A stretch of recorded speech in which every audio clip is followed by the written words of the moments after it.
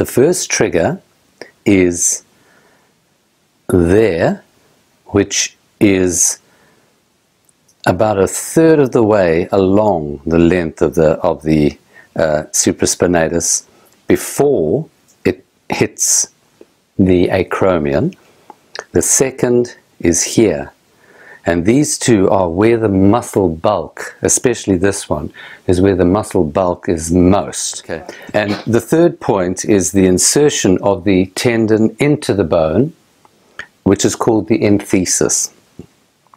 So the triggers of the supraspinatus will refer pain out into the lateral part of the upper arm and that this pain will kind of dribble down.